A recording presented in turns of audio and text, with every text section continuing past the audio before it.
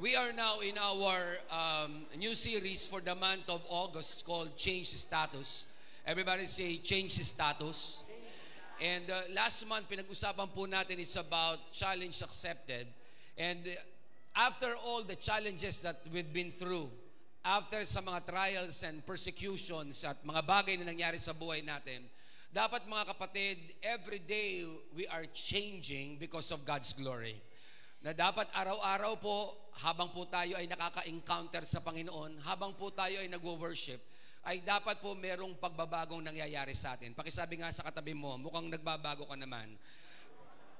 Tingin ko lang. So ngayon po umaga na to, we will going to discuss uh, and uh, simula po ito ng ating pag-uusapan about change status. And let's talk about this morning today. Let's talk about today the topic different. Everybody say different. Pakitingnan ng katabi, pakisabi sa kanya, you look different. Let's uh, let's play a simple guessing game. Can we? Pwede po ba tayo mag Pwede po bang mag, uh, maglaro lang tayo sandali before I'm going to go to the main point of the preaching today about different. Okay? Magpapakita po ako sa inyo ng picture. Pwede po bang pakihulaan nyo lang po, mga kapatid, kung ano ang pangalan nito? Kung ano po ang pangalan ng artistang ito o famous celebrity. Can you do that? Now, kung kayo po ay hindi pa nabubuhay nung panahon na to, eh okay lang naman, walang problema. Pero hulaan lang po natin. Uh, sa palagay nyo po, uh, sino po ito? Alright. Todo, uh, yung mga matatanda na, Kuya Bobby, alam ko, alam nyo to, eh, no? something like that. No? Me- special mention. No? Okay? Ang pangalan po niya ay si Val Kilmer. If you, alright, so you're familiar with the face. No? Look, at, look, at, look at him now. He looks very different. How about this guy? How about this girl? Anybody recognizes this girl? Probably not, no? Ang pangalan po niyan, kilala niyo po yan, yan po si Kim Kardashian. Alright, nakita niyo po yung kaibaan, ano? No? Nakita niyo po, nagbago yung muka. No, yung katabi niyo po, ang nagbago lang, waistline. Pero yung mukha, ganun pa rin eh. Alright, okay. How about this girl? Okay, very good. Ang pangalan po yan ay si Kim Chu. Ah, very good. Yan. Ha? Ayan, nakakaintindi tayo. How about this guy? Very good. Si Vice Ganda. Alright, very good. Nakita niyo po yung difference, no? Natawa yung iba. Okay. Anyway, how about, uh, how about how about this this man? How about this? I'm sorry, about this man.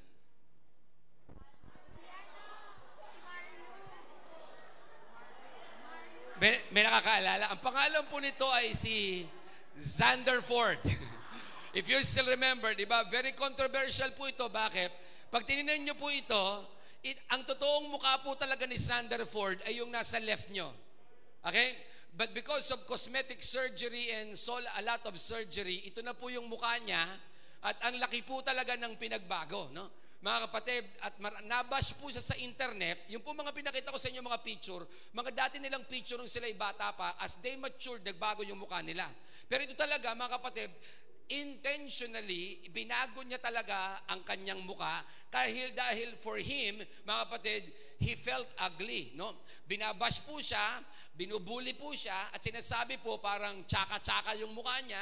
Mga kapatid, yun po ang dating. That's why he intentionally changed his face to look different. The problem is, nung inintentionan po niyan to look different, people are seeing him not kundi not as a real person, kundi isang taong cosmetically, cosmetically, mga kapatid, altered. Now, I want you to understand, ladies and gentlemen, ang buhay po nagbabago. Ang lahat ng tao nagbabago. Diyos lang talaga ang hindi nagbabago sa iyo at sa akin. Alam nyo, kahit mga kapatid, ang mga, ang, ang, kahit ang mga pinag-aralan natin nung araw at hanggang sa ngayon nagbabago, pati nga mga chemical formula ngayon nagbabago. Dati sa chemistry, ito lang daw po ang chemical table, ano yung chemical compounds, no? Nagbabago. Halimbawa, mga kapatid, no, yung water, ang formula po niya ay H2O, pero ang forever po ay di totoo. You know, something like that. So, dinagdag po nila ngayon yan sa, uh, dinagdag po nila, dinagdag po nila ngayon sa chemical chemical element. Okay? Now, why, what am I trying to tell you, ladies and gentlemen, that everything changes.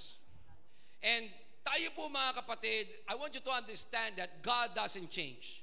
But we must, uh, the change that will happen is the way we see God. Dapat habang tumatagal po tayo sa relasyon natin sa Panginoon, nagbabago ang tingin natin sa Diyos. Sa lang ko po kayo. When you enter the church, when you have the cell group, ang gusto mo lang sa church, you want God to bless you, you want God to heal you, you want God to answer your prayers. Pero habang tumatagal ka sa relasyon mo sa Diyos, dapat nagbabago na. Hindi mo na gusto ang answered prayers. You want more of Him.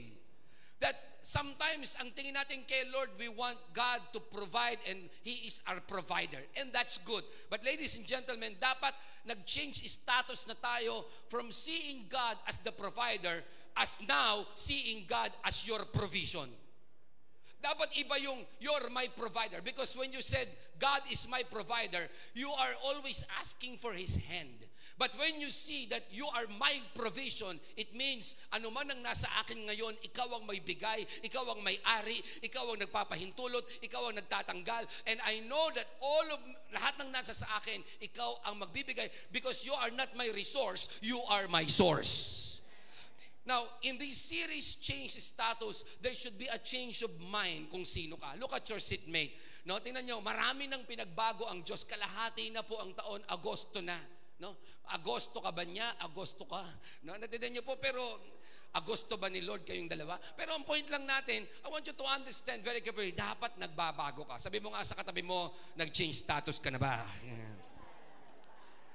Now today, for us to understand change status, let me just go now to a verse. Sabi ng scripture in Ephesians chapter 2 verse 10, For we are what? God's masterpiece. And He has created us anew in Christ Jesus so we can do the things He planned for us long ago. The Bible says this is the declaration of God. Ano sinabi niya? Declaration of Scripture. That we are God's masterpiece. Everybody say, masterpiece. Alam niyo po, pag sinabi pong masterpiece, ang ibig sabihin ng masterpiece, katulad po ng, ng, ng Mona Lisa, ang ibig sabihin po, nag-iisa lang yon. Di ba? Hindi pa pwedeng dalawa ang kopya ng Mona Lisa. Kasi pag dalawa ang kopya ng Mona Lisa, hindi na siya masterpiece. Now, the Bible is saying, you and I are God's masterpiece. Ano yun? Nag-iisa ka lang. Kaya kung ano ang nangyayari ngayon, I have a good news for you. Tanong ko ano? Ano man ang nangyayari sa iyo ngayon, pine-personal ka ni Lord. Ba't ka pine-personal? Because He is personally taking caring of you. He is personally changing you. He is personally providing for you. He is personally holding you with His hands. That's why you and I are God's masterpiece. Kaya pag tingnan mo ang katabi mo, under construction pa kasi may ginagawa pa ang Diyos. At paganda ng paganda, paayos ng paayos, pasagana ng pasagana, pahusay ng pahusay, pataas ng pataas ang sitwasyon. Pag malaki mo nga yan sa katabi mo, sabi mo sa kanya, I am God's masterpiece.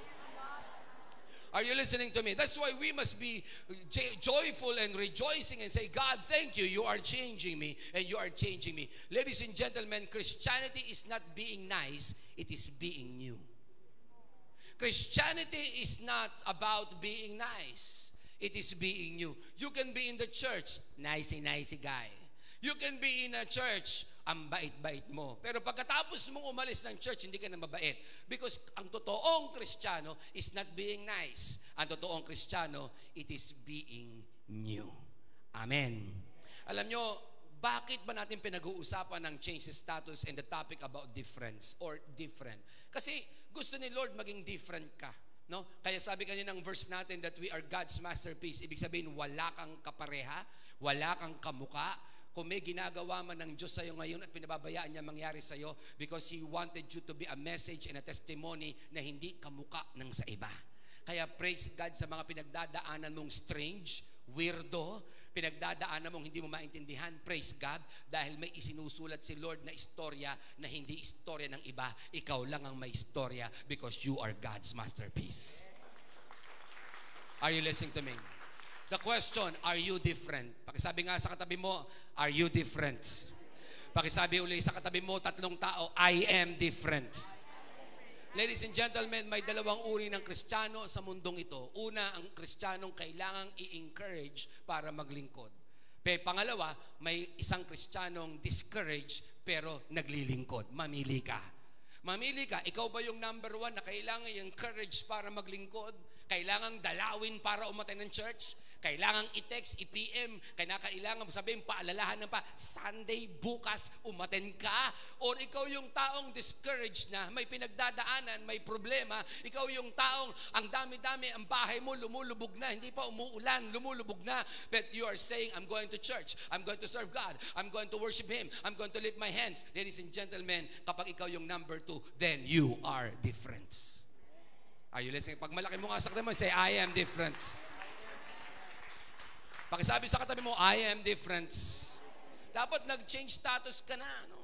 Dapat nagbago na yung takbo mo. Kasi you can be in the church for 2,000 years. You can be in this church for the next 500 years. And look at yourself and look at us today na pareho pa rin ang buhay mo.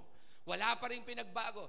You're been attending this church for the past 11 years or 11 years and you're still just attending the church for 11 years.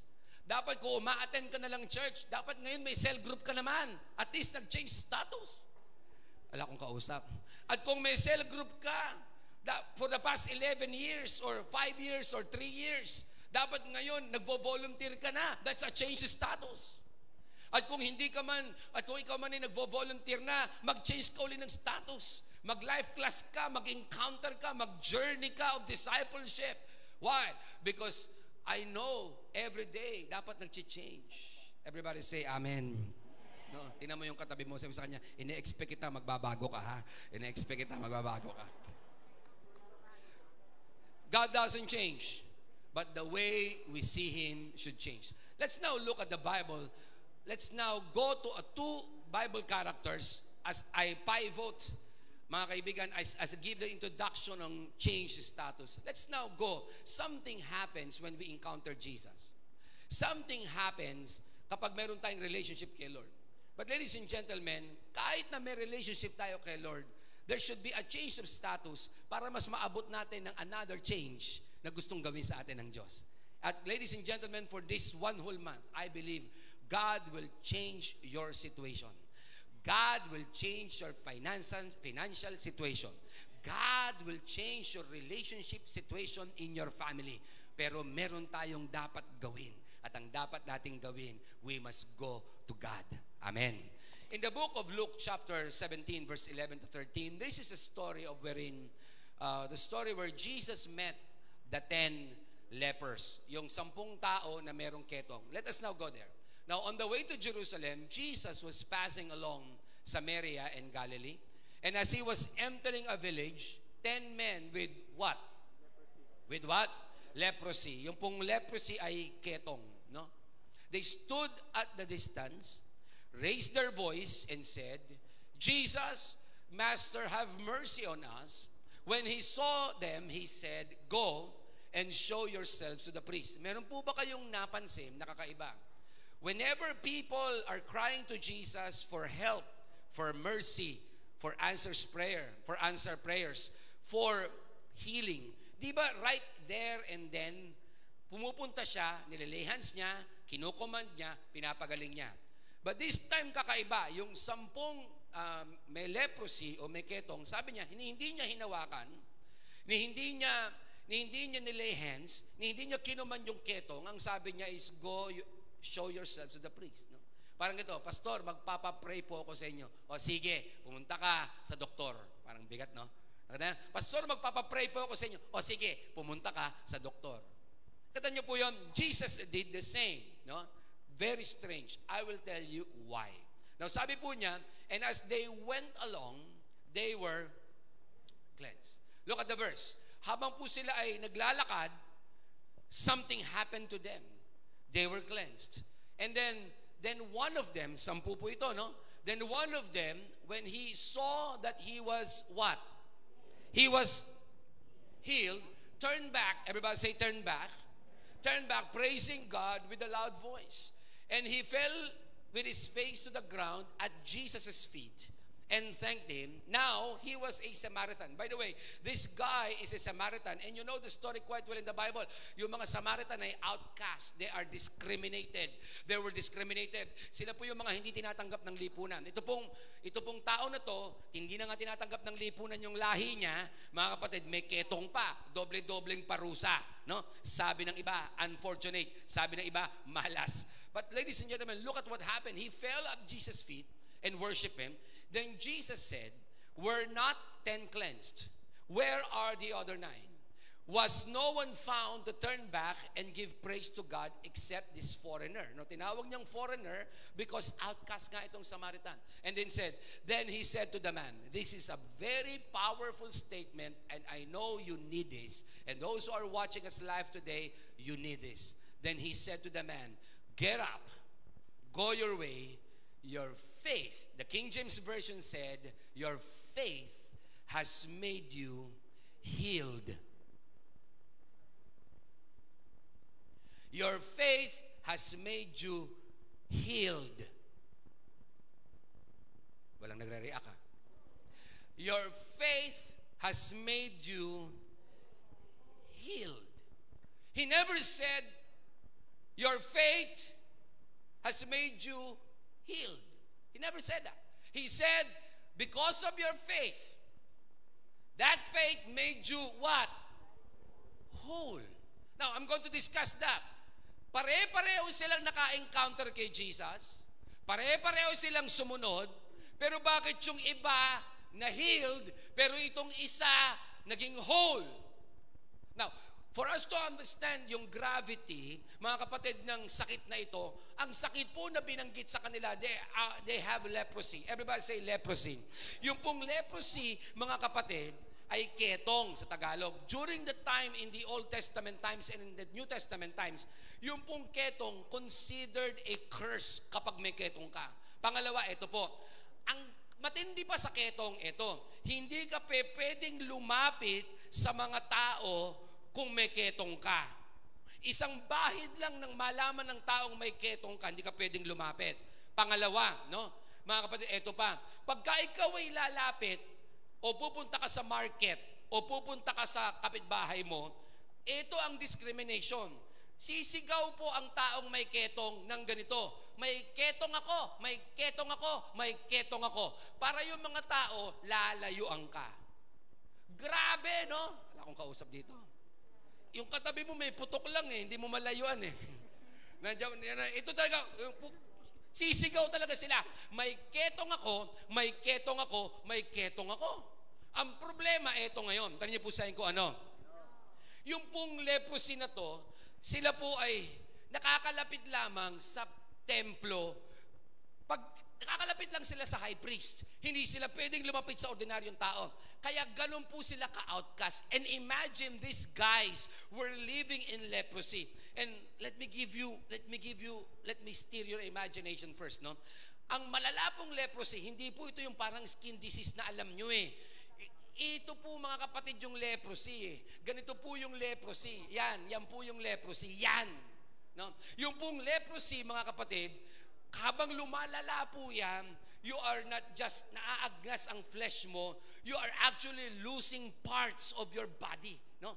At imagine niyo po, kung nawala po yung daliri ng isang taong may ketong, ang maglilibing lang din po yung kapwa niyang may ketong. Imagine niyo kung na, naiwan po dyan ay kamay. Hindi po hahawakan ng kahit sino yan kung ito po yung ketong. Ang tangi lang pong maglilibing, mga kapatid, yung parte na wala ay yung pong tao ding may ketong. No? Kaya ang tawag ko sa kanila, dapat nga ang pamagat ng ating preaching ngayon is The Walking Dead. Nakuha niyo po o kaya ay Jesus versus zombies. Yun sana ang aking gustong yung sana ang gusto kong ano eh, ipa, ipamagat eh. Yung mga nagko-computer, alam niyo yan. Tsaka na, na, na, di ba? Yung mga walang cellphone, bahala kayo sa buhay niyo. Okay. Now, look at that. Now, ito po yung gravity of this leprosy.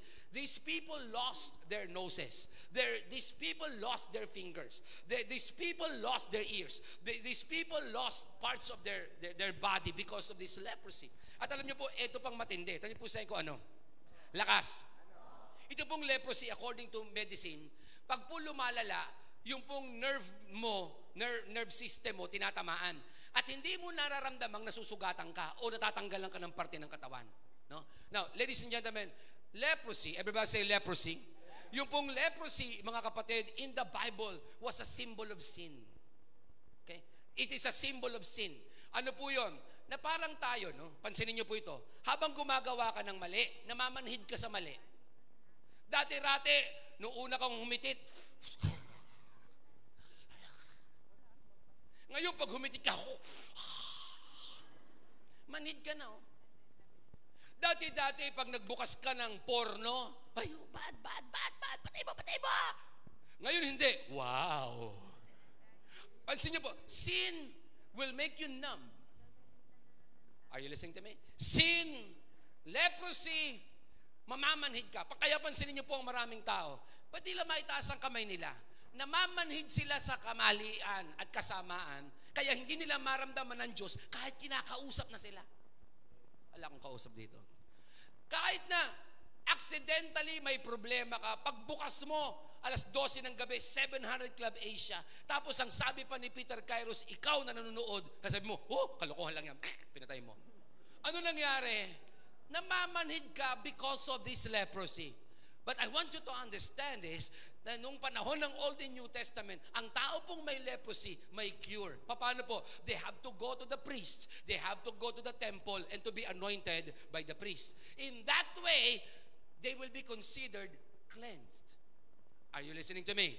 Now, tinan niyo po, balikan natin to. This is the gravity of their situation. Hindi po ito skin disease na hadhad at galis aso katulad ng meron sa katabi mo. Hindi po yon. Natindihan niyo po? Hindi po yon. Ito po ay matindi na uubos yan. Now, look at the, look at the verse. Are you following me? Ito po ay magkaibang, parehong mga tao, pero magkaibang experience. This is what I, I, I've learned about Jesus and I've learned about church. We can be in the same church, but some people may encounter Jesus, some people may not. We may hear the same message. Some people will cry, some people will sleep. We may be in this church, worshiping and clapping. Some people will go to have a breakthrough. Some people will go to have a blessing. Some people will go out from this building, nothing. Why? Mga kapatid, because something is going on na God is requiring of us. Look at the verse. Sabi, balikan natin. And Jesus, sabi po nung sampo, sabi nung sampo, Jesus, Master, have mercy on us. When he saw them, he said, Go show yourselves to the priest. Bakit hindi niya hinawakan? Nandidiri ba siya? Hindi. Kasi Jesus is respecting the law. Because the law of Moses said, kapag may ketong ka at gusto mong maluminis, pumunta ka sa templo. Kaya ang sabi niya, go show yourselves to the priest.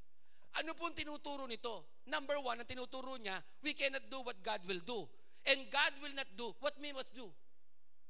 Ay, wala akong kausap. English, no? Hindi natin magagawa ang kayang gawin ng Diyos. Pero hindi gagawin ng Diyos ang kaya mong gawin.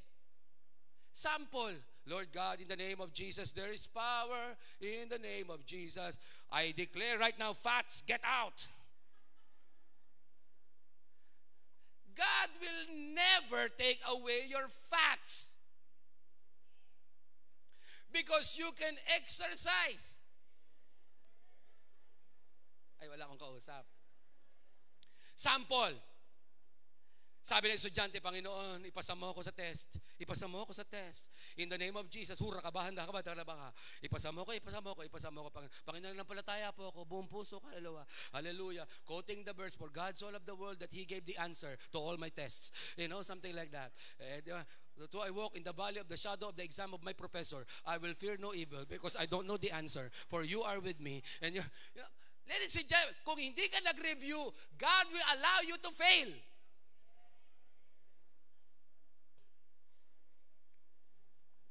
Sa mabas, mataas ang sugar, mataas ang uric, mataas ang lahat. Height mo lang ang hindi. And then you are saying, Oh God, heal me God. Heal me God. Oh God!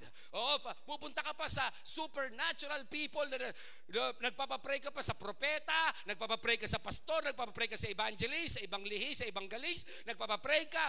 I tell you, Start having a good diet. Because God will never do what we are supposed to be doing. Wala akong kausap. Lord, baguhin mo asawa ko. Lord, baguhin mo asawa ko. Lord, baguhin mo siya. Pag hindi mo siya mabago, kunin mo na. Right now, in the name of Jesus. I declare right now, oh God. Sabi ng Bible, ang sabi ng Bible, to die is Christ, is uh, uh, to live is Christ and to die is gain. Lord, let her die. Let him die.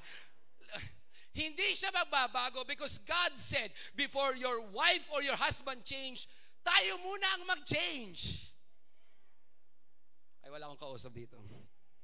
Sabi mo nga sa katabi mo, gusto mo ba mag-change status ang nasa paligid mo? Sabi mo sa katabi mo, ha? Ha? Gusto mo mag-change status? Sabi mo, sabi mo sa katabi mo, mag-change status ka muna. no, no, kaya, bakit si Jesus, hindi niya hinawakan na, okay, okay, okay, come here, come here, you leprosy people, you, you, uh, you, you, you, you, you association of the leprous people, you, bang! Hindi niya ginawa yun. Ano sinabi niya? Okay, go to the priest. Bakit? Because you know the law. Wala akong kausap. Go to the priest. Because you know the law. Sasample ako po kayo. Kahit ano pang gawin nating prayer, pag alam natin, pag mali ang relationship natin, yung blessing hindi babagsak ng todo.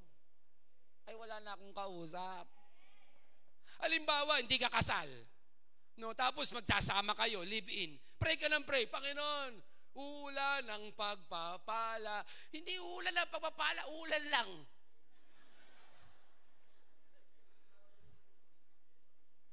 Because God will say in heaven, hey, fix it. Lord, I declare today in the name of Jesus, ang lahat ng utang ko, ikakansela mo. Diyos ko! Lord, bayaran mo.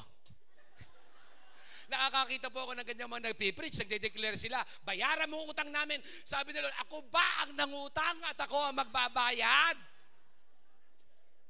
God, we cannot do what God will cannot what will do, but God will never do what we should be doing in the first place. God will empower us to do something, but still you will move. Kaya kita nyo to ha, sabi ni Jesus Christ, go, go, go, go, go, go, go. Go to the priest. Go to the priest. Parang ganito, Panginoon, atin akong church ngayon, gusto ko mabless. Paano hindi ka pa rin mabe-bless, hindi mo nga tinataas kamay mo? Paano hindi ka still mabe-bless kahit nandiyan ka nakaupo ka, mga kapatid, eh, hindi ka nagwo-worship? Kasi God is ready. Are you ready? Merong isang kinatatakutan ng panahon ni Kuya Joe. Sabi ng signboard, Jesus is coming. Are you ready? Mananakot pa eh, no? Dapat palitan yun eh. Jesus is ready. Are you coming? Di ba dapat handa na si Lord pagpalain ka. Handa na si Lord isave ang family, family mo. Handa na si Lord ayusin ang relasyon mo. Handa na si Lord tanggalin ang lahat ng crisis mo. Pero ang tanong ko sa iyo, ikaw ba handa ka nang sumunod and to change status from being stubborn, from being obedient? Come on, talk to me. You can hate me now. You can hate me now. Are you listening to me? Change status. Amen. Hindi mo pwede, Panginoon, tanggalin mo yung damdamin ko sa Kanya para hindi ako matukso. Lumayo ka! Lord, gusto ko pagkaharap ko siya, hindi ako, hindi ako natutukso.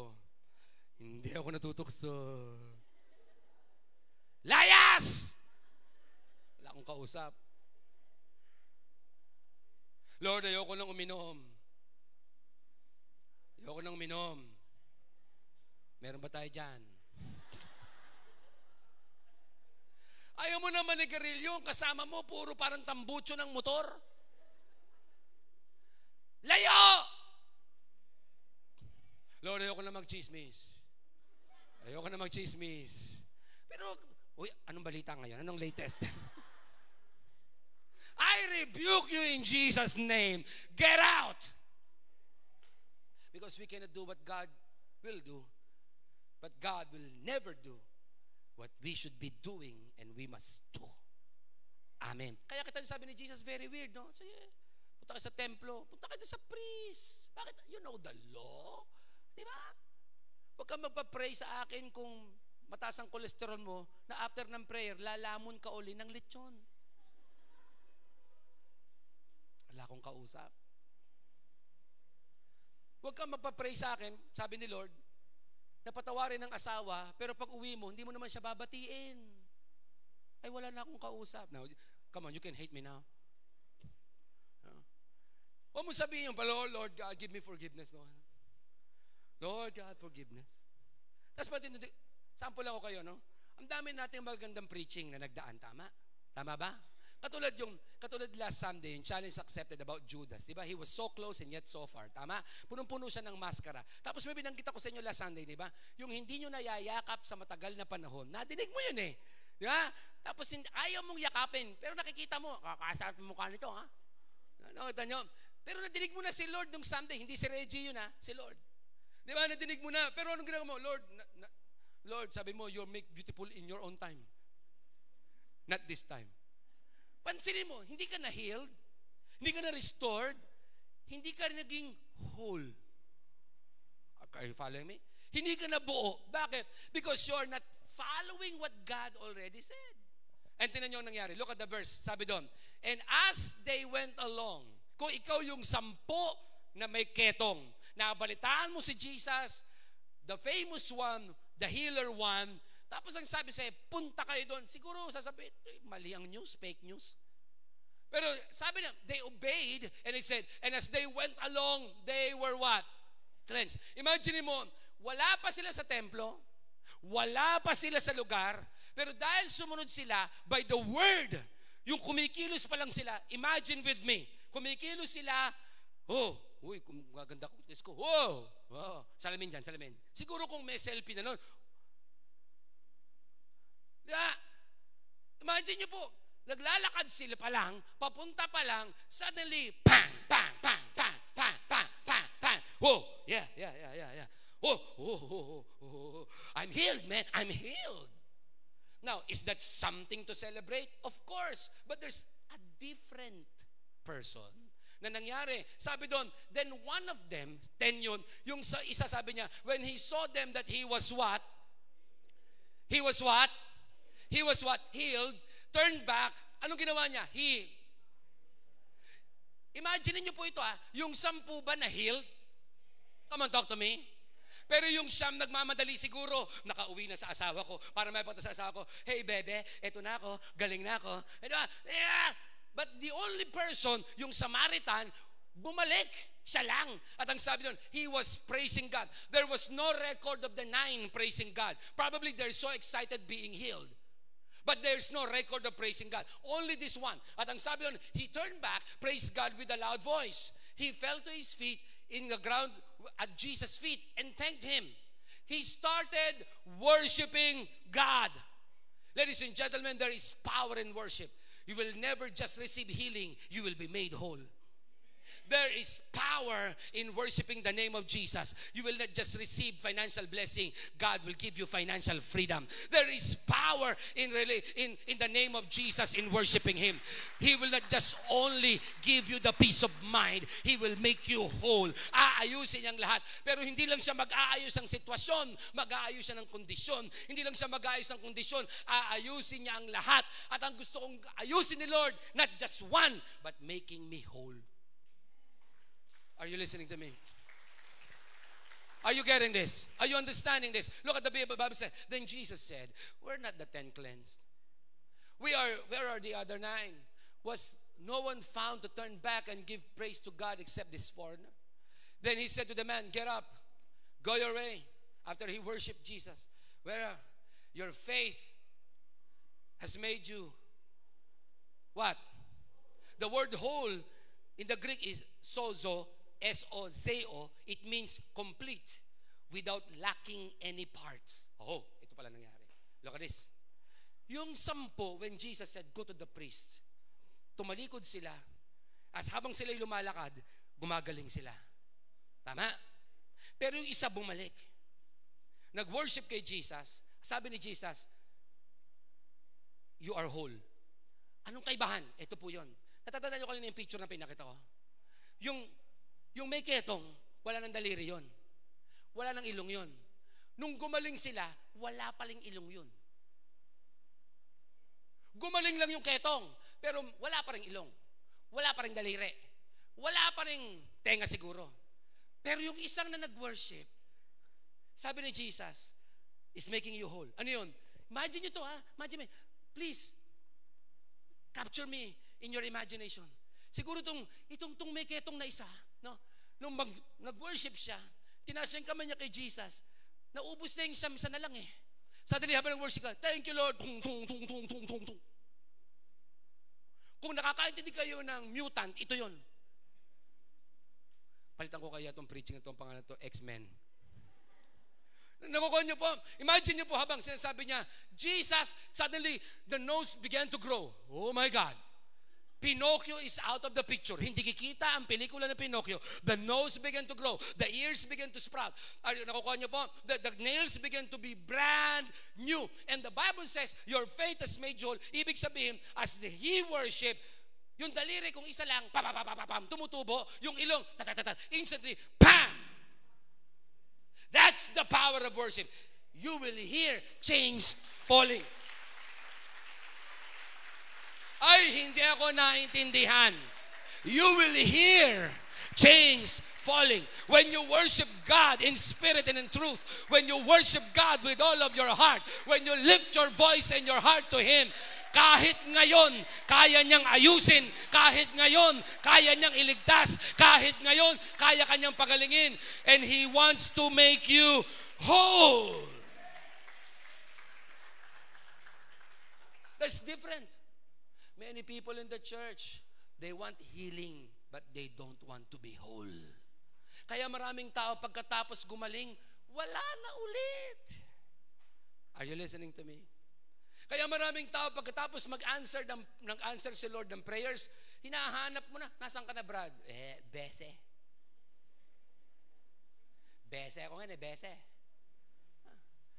Uy, ito ka naman ng cell group. No time. Talagang tindi mo, wala kang oras. Magkaiba ba tayo? Ako 24 hours lang ako eh. Ikaw ba 37? Are you listening to me? Kaya marami, kaya kita nyo, di ba, yung mga pinagaling ni Jesus, they shout, Hosanna, they shout, I love you, Jesus, they shout, the Messiah, pero sila rin yung nag-shout, at the end of the book of Matthew, Mark, and Luke, John, crucify Him. Bakit? Because they saw Jesus as healer, they saw Jesus as the provider, but they never saw Jesus as the provision. They saw Jesus as master, but they never saw Jesus as Lord. They saw Jesus as God, but they never saw Jesus as Savior. Ladies and gentlemen, you can be in this church and still go to hell. You can still be in this church at pupunta ka sa impyerno pa rin. Why? Until you encounter Jesus. Until you have a personal relationship with Jesus. Until you will experience His love and grace of Jesus, you will never be whole. Kaya we're encouraging everybody, accept Jesus as Lord and Savior, not to be at Rain M, not to be at any church, but to be with Jesus. Are you listening to me? Are you listening to me? Now, ladies and gentlemen, itong worship na to, I call, uh, mara, mga praise and worship team, maraming kung ano ng mga worship sinasabi, merong um, uh, Zion worship. Yeah? But I call this uh, worship, I call it the leper's worship. Pagsamba namang may ketong. Tinan mo nga yung katabi mo. Tinan mo nga mukhang may ketong. The leper's worship. Ano ba itong leper's worship? Why Jesus made him whole? Tayo say ko ano? He's not praising God for what he has done, but he's praising God for who he is. That's leper's worship. Nagpapasalamat siya, hindi dahil sa ginawa sa kanya, kundi nagpapasalamat ka kung sino siya. Mga kapatid, ang totoong worship, ang kaibahan ng worship at papuri ng palakpak at taas ng kamay at sayaw, ay nagpapasalamat ka dahil answer ang prayers mo, na-answer ang prayers mo. But that's it. Tatanungin kita, will you still worship Him even if hindi pa answered ang prayers mo? Will you still serve Him even if hindi ka pagaling? Will you still worship God even if hindi pa sumasagot ang Diyos for a very long time? Kaya mo ba bang maglingkod at sumamba kahit na discourage ka internally and externally? May pressure ka sa loob, may pressure ka sa labas. Kakayanin mo pa bang sumamba? Kapag kaya mo, ang tawag dyan, leper's worship. And Jesus said, because you worship me, your faith has made you whole.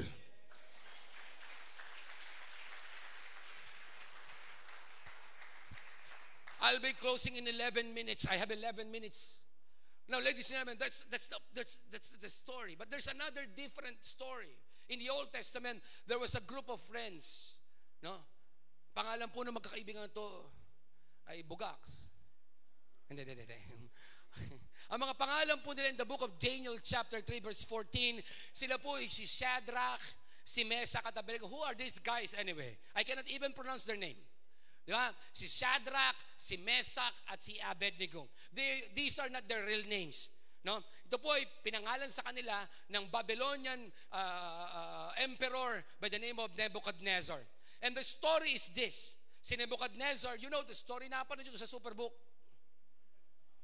You know the story, si Nebuchadnezzar, the king, nagtayo po siya ng napakataas na tore ng kanyang idolo. Because meron po siya, iniidolo niya sarili niya at nabigay siya ng ganitong command. Lahat dapat, pagtunog ng drums, pagtunog ng keyboard, pagtunog ng trompeta, pagtunog ng tambourines, lahat ng tao in the kingdom, bang! Sasamba sa, sa, sa idolo na yon. And the Bible says, these three guys, these three friends, friends of Daniel, si Shadrach, Meshach, and Abednego, they were there because they were part of the advisors of the king. They never stooped down. They never worship, they never kneeled. Kaya makita niyo po, among thousands, sila lang po yung nakatayo. And the law said, kapag hindi ka sumamba doon sa Diyos-Diyosa ni Nebuchadnezzar, itatapong ka, mga kapatid, sa pur, uh, uh, uh, furnace. Ano ba yung furnace? Sa pugon. No? Sa pugon ng apoy. Grabe. And look, look at this. Ginawa, I'll make the long story short, tapos I'm going to give you a verse. Nangyari, pinatawag yung tatlo. Sabi nila, you are, you are, you are, you are so stubborn, guys. Sabi niya, you worship my... Pag hindi ka nag-worship sa idol ko, sa bato na to, ginto pa nga eh. Sabi niya, yuhulog ko kayo sa apoy. Alam niyo ang sagot, alam niyo ang sagot ng tatlo? Tanong ko ano? Lakas. This is a challenge to everybody. Sabi ng tatlo, O King Nebuchadnezzar, we will not worship your idol because my God in heaven will save me and will save us. Wow! That's faith. But there's another faith na sumunod. Ano sabi nun? But even if our God will not save us from the fire, we will still not worship your idol. Ang bagis nun. Parang ganito, alam ko, pagpapalain ako, pero hindi ako uurong maglingkod That's faith. Pero kahit na dumating pa ang oras, walang pagpapala, maglilingkod pa rin ako. That's a different faith. Are you following me? Tanong ko sa'yo, nasan ka dun sa dalawa? Sabi nun, di ba? Sabi na, we will not worship your idol because my God in heaven, the Almighty Yahweh, will save us from the fire. But even if hindi kami isave ng aming Diyos, hindi pa rin kami sasamba. Mga kapatid, hindi sila takot mamatay. Paano mo tatakuting patayin ang isang taong hindi takot mamatay? Kaya ka takot mamatay at takot kang patayin kasi takot kang mamatay. Ala kong kausap. Tingnan mo yung katabi mo, takot ka bang mamatay? Itong mga taong to, hindi takot mamatay. Kaya yung bantana ni King Nebuchadnezzar, papatayin ko kayo and I'm going to throw you in the fire. And papatay ko kayo, I'm going to throw you to the fire. So, papatay ko kayo, I'm going to throw you in the fire. Well, papatay ko kayo, I'm going to throw you to the fire. Come again? Parang ganito, sabi ng circumstances ng demonyo, paghihirapin kita. Sabi mo, kristyano ka kasi. So, hindi sasagutin ng Diyos ang prayer mo. Eh, ano ngayon? Hindi ka ba magkakaroon ng pera? Ang business mo pababagsakin ko. So, ba't ka ganyan? Sabi ng demonyo, kahit gawin mo pa yan sa akin, I will still serve my God and I will still worship Him. Ang tawag po doon, lepers, leprosy, worship. You are thanking God not because of what He has done. You are praising God because of who He is. At iyon po ay nagagawa lamang kung ikaw ay malalim ang relasyon mo sa Kanya. Kaya sabi mo sa katabi mo, palalimin mo ng relasyon mo sa Diyos. Change status na tayo. Lalong nabuwisit si King Nebuchadnezzar at sino yung sumunod na verse? Then Nebuchadnezzar was furious. He was not angry. He was not outraged. He was furious. The, kaya yung pelikulang Fast and Furious, itong una. At ang sabi doon, he was furious with Shadrach, Meshach, and Abednego. Are you still with me? I have six minutes left. And his attitude towards them changed. Nung una, pabor na pabor sila eh, si Nebuchadnezzar. But actually changed. He ordered the furnace. Ito pa matindi. Sobrang galit. Heated how many times? Hominid, seven times hotter than the usual. Pare, ang init nito, pre. No? Sabi doon, than the usual. And commanded some of the strongest soldiers in his army to tie Shadrach, Meshach at Abednego and throw them into the blazing furnace. Bakit tinali? Baka magwala. But the Bible says, hindi nagwala. Hindi ka takot mamatay eh. Paano mo tatakutin? Paano mo tatakutin ng isang single na hindi makapag-aasawa kung kontento na siya na maging single kay Jesus forever? Paano mo tatakutin yon? Uy, tanda ka na, wala ka pang boyfriend. Dapat ang sagot mo, get thee behind me, Satan. So, wala akong kausap. Uy, wala pa naliligaw sa'yo, may edad ka na. Eh, ano ngayon? Wala akong kausap. They tie up, they throw them, and throw them into the blazing furnace. And the king's command was so urgent, and the furnace was so hot, that the flames of the fire killed the soldiers who took up Shadrach, Meshach, at Abednego. Yung mismo nagbuhat sa kanila, dedo sa init, hindi pa tinatapon, namatay na. Ganun kainit, pre. Tatanungin kita, kung ikaw siguro si Shadrach, Meshach, Abednego, My God, will save me from the fire. Huh? But I will not worship your God, your idol. Tatali ko kayo! Tinali. Siguro ko ikaw yun. My God will save me from the fire. But we will not worship your idol. Binubuhat ka na. Lord, binubuhat na kami. Do something right now, God. Make a miracle. Are you with me, God? Can you, siguro kung ikaw yun, di ba? Minsan na ito eh. Matatest ang faith mo, hindi pag malayo pa eh, pag malapit na. Wala akong kausap dito. Di ba?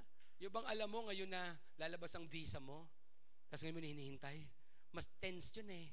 Kesa yung 30 days, tagal pa, no? Wala akong kausap. Kaya mas intense ang faith kapag on the spot, sinasabi ng nanay mo, huwag kang umattend. Mas intense ang faith nun. Kesa yung bukas sasabihin sa'yo, sa linggo ha, huwag kang a-attend. Wala pa yon. Pero yung linggo, nakabihis ka na. Gumising ka alas 3 sa madaling araw. Tapos saka-ready ka na. Saan ka pupunta? Naku, ang faith nun, ang tindi nun. Grabe. Yeah. Ito hindi. Ito totoo tindi. No? Lord, minubuhat na po kami. knock, knock. ah, Itong matindi. Yung nagbuhat, namatay. Tanong ko lang, kung namatay, hindi pa tinatapon, sino nagpapunta sa kanila? Baka sila mismo gumapang. Okay, let's go to the fire. Di ba, di ba, di ba? Di ba? Ito, let's say, ito po yung furnace na. Yung nagbuhat, di ba? Yung nagbuhat, malaki katawan. Si Carlo, si Pastor Sean, You know, the muscles man, yung mga bouncer natin sa church, yan po yung mga natatakutan eh. Bakit po? Kasi sasaksakin po kayo naman yan eh. You know, you mga buto-buto nila. You know, nagbubuhat po sila, buhat-buhat nila ganun, biglang bak, namatay sila sa init. Bagsak sila sa floor. Palagay nyo, paano nakarating yun sa fire? Akin lang tong imagination, wala kayong makita sa Bible na na. They would probably themselves voluntarily went to the fire. Wow. Wow! Parang ako excited. That's different. Kung ikaw yon, boom! Patay silang lahat. Hmm, tayo dito, bilisan mo, nakakalso tayo. Oh, king, namatay oh. Meron pa bang next? They, as far as I'm concerned, this is just my version.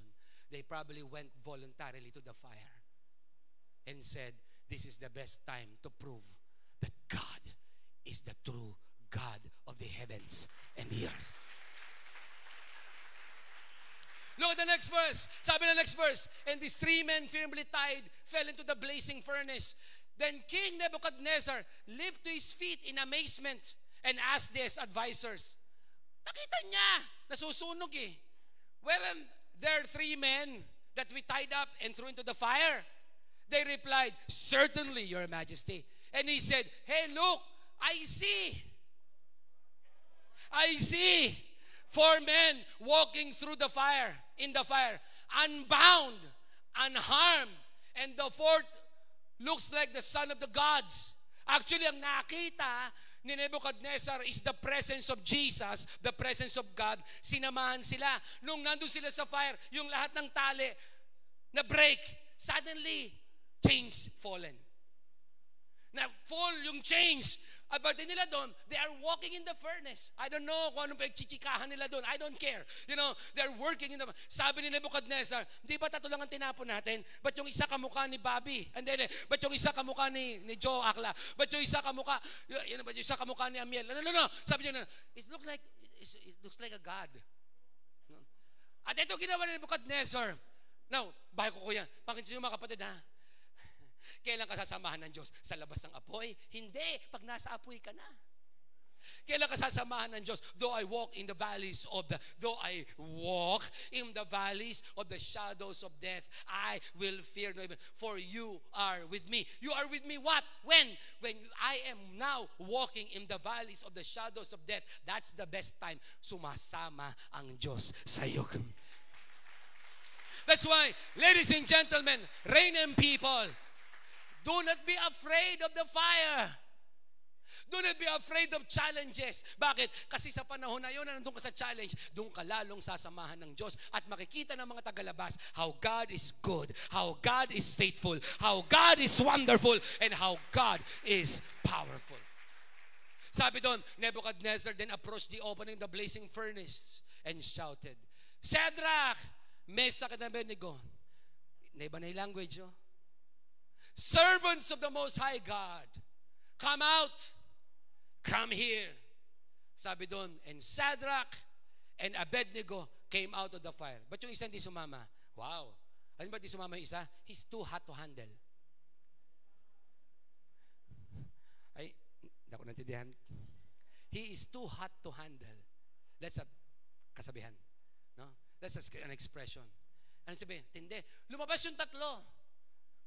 At ang sabi doon, and the satraps, the prefects, the governors, and the royal advisors crowded around them. Siguro, if you, pare, pare, tayo ka doon. Siguro ganito eh. Sadrak, ikaw ba yan? Pare, ikaw ba yan? Pare, pare, pare. Ikaw ba yan, pare? Ikaw ba yan? Oh, mag, maging PA, no? no? Pare, ikaw ba yan, pare? Wala bang sugat, pare? Asan yung tali pare, nalusaw? Nagkaguluhan sila eh. Kung may fans club na noon, yan yun. Natindihan nyo? Kung may Fast and Furious, yan yun. Ito yung una. Thank you. Crowd around them. They saw that the fire had not harmed their bodies. Etong matindi mga parid. Ito, and I'll close. Nor was the hair, hair of their heads singed. Their robes were not scorched. Ni walang nasunog ni isang split ends. At ang sabi nun, their robes were not scourged. At etong matindi, there was no smell of fire on them. Naka, meron ba kayong nakasakay sa LRT, sa MRT, sa bus, sa jeep, sa P2P, sa e-bike? Tapos sa ninigarilyo, di ba? Pagkatapos nun, amoy ka. Amoy sigarilyo ka na. Isang tao lang, dalawang tao lang nakasabay mo, amoy sigarilyo ka na. Ito, pumunta sa apoy. Pero sinamahan ng Diyos na may likha ng apoy. Sinamahan ng Diyos na kayang ikontrol ang apoy. Sabi doon, walang nasunog. That's good. Pero ang matindi, walang amoy. Ladies and gentlemen, look at Pastor Reggie. You are now going through tough times. Tama ba? Pag na-overcome mo yan at paglabas mo, walang bahid na parang galing ka doon. You are a different person. May pinagdadaanan ka ba ngayon? Daanan mo. Panghawakan mo ang salita ng Diyos, manampalataya ka at sumamba ka, leprosy worship. Paglabas mo, sabi ng mga tao, parang wala kang problema. Akala mo lang yun. Sabi mo nga sa katabi mo, akala mo lang yun. Nung pumunta kami ng Macau two weeks ago, two and a half weeks ago, may isang lumapit sa akin, sabi sa akin, Pastor Reggie, mukhang hindi nagbabago ang mukha mo. Siguro wala kang problema. Sagot ko sa kanya, akala mo lang yon. Pero mga kapatid, hindi halata. Dahil nanggaling na ako doon, kaya paglabas ko, walang amoy ng problema. Walang bahid na parang pinag, may pinagdaanan. Walang bahid na akala mo may sugat. Walang scars ng sugat because I have overcome it with worship. I have overcome it with relationship. I have overcome it with the power of the name of Jesus. And I'll close. When God fixed you in the place you're going through, you will come out not even look like what you've been through. Kapag inayos ka ng Diyos sa panahon na may nagdadaanan ka, lalabas ka. Iba. Parang walang bahid, walang mancha, na parang pinagda- may pinagdaanan ka. Tingnan mo yung katabi mo at sabi mo sa kanya, akala mo lang wala akong pinagdadaanan. Sabi mo sa kanya, maraming marami. Pero hindi halata. Sabi sa kanya, pero hindi halata kasi tapos na. Let me close. This is change status. Did you enjoy our first series? Our first topic on change status for you to understand? There was one magnificent building in Israel during the time of its glory. It's called the Solomon's Temple. When I was studying the Solomon's Temple last night, alam niyo, pag binasa niyo po ang Book of Chronicles and Book of First, uh, Second Kings, you will see that Solomon never built the temple by his hands. No. Ginawa po niya because he was full of wisdom. He hired people, he got people to build the temple for him. Yun ang wisdom. Wisdom is not doing all things. Wisdom is getting things done through right people. Yun ang wisdom. Pag ikaw ang gagawa ng lahat, engot ka, mamamatay ka, kukunin ka ni Lord. No, huwag mong gawin lahat. Sabi mo sa katabi mo, hindi mo kaya, hindi ka Superman. Do you understand this? And the Bible says in the book of Second Kings, pagpasok niyo po sa templo, sa floor, the walls, they were all made of gold. We were in Macau, in Emperor Hotel. Yung pong floor doon, alam ito ni ano eh, alam ito ni ni Jude. Eh. Taga doon yan eh. Yung pong mga floor sa Emperor Hotel, may malaki-malaki po yan, mahahaba. May mga bars of ginto. Alam niyo yung mga tao doon, nagpapapicture doon, oh, tantuwa sila, lumalakad sila sa ginto. Sabi pa nga isang kristyano, kahit di na ako punta sa langit, nakalakad na ako sa ginto. Sabi ko, salbahe ka. Diba? Sabi ko, ayoko. Ma, pero tiles-tiles lang yon. Hindi, hindi talaga siya, no? Hindi talaga siya, bulo, But the Solomon's temple was, look at me, Solomon's temple was pure gold. Lahat, yung cup, lahat pure gold. Imagine mo, siguro, yung microphone kung applicable to ngayon, this is gold. My clicker is gold. My teeth is gold. Pati siguro yung kuto mo, it's gold. Yung inuupuan mo is gold. If that will, will if, if that we will apply today, According sa isang theologian at mga archaeologists na nagsama-sama, they found out that the value of the Solomon's temple during the time, during the time, during the time was actually about 100 billion dollars. During the time. So ngayon siguro kung bubuin uli yan as is where is, siguro mga trillion of dollars. My question was this, where did Solomon got all the gold? Naghukay ba sila? Nakadiscover ba sila ng mina? Ng Yamashita treasure? No!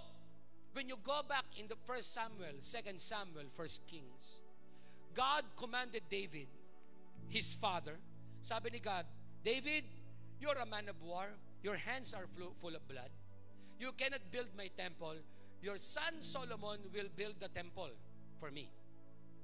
Hindi mo pwedeng gawin yun kasi mamamatay tao ka because he was a warrior. But nevertheless, may sinabi si God kay David. Tanong sa'yo ko ano? Sabi niya, whenever you conquer a kingdom or the enemies, Philistines, the Hittites, the Jebusites, and all these ites, ites, ites in the Bible, sabi ni ng God sa kanila, get their golds.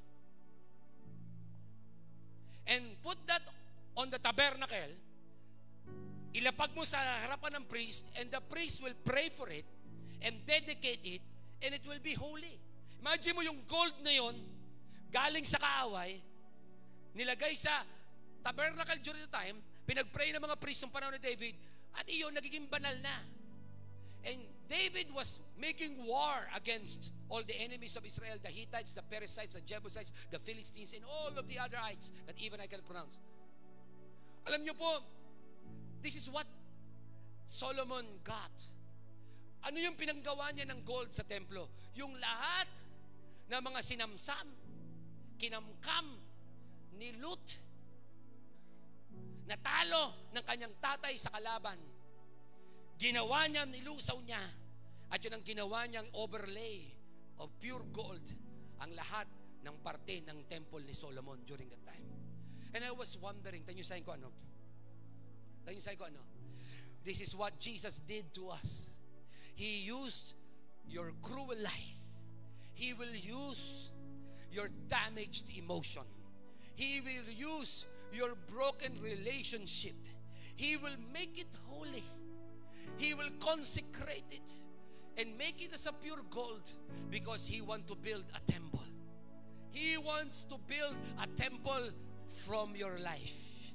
He wants to build a temple from your mistakes. He wants to build a testimony from your tests. He wants to build a message from your mess. He wants to build opportunities from your problems. That's why sasamahan kanya sa lahat ng pagdadaanan mo. Pero ang tanong ko lang sa iyo, sasamba ka ba sa kanya? Will you worship God just like the leprous man? I will worship you not because you healed me. I will worship you because you are my God and my Lord. I will not worship you because you answered my prayers. I will worship you because I love you. Kapag ginawa mo yan, today, at the mention of Jesus' name, He will make you whole.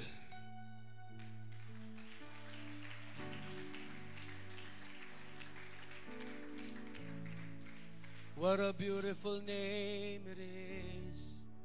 What a beautiful name it is. The name of Jesus Christ my King. What a powerful name it is. Nothing compares to this.